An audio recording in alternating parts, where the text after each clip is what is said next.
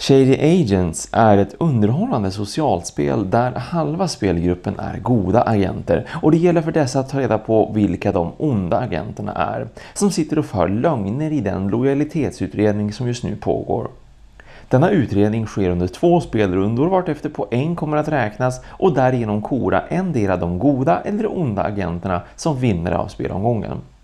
Efter att ha blandat identitetskorten och delat ut ett kort per spelare samt en uppsättning av markeringskort så turas spelarna nu om med att utföra en handling vardera av tre möjliga.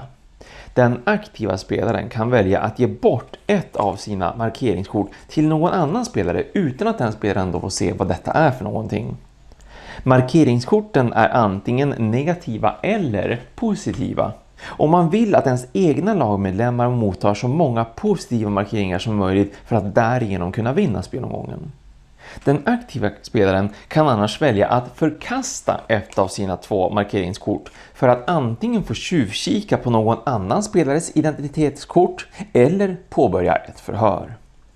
Förhöret går till så att den aktiva spelaren drar det översta förhörskortet och läser en av de två förhörsfrågorna högt och därefter måste alla spelare i turordning från den aktiva spelaren svara på den här frågan. De goda spelarna måste besvara frågan sanningsenligt medan de onda spelarna måste tala osanning.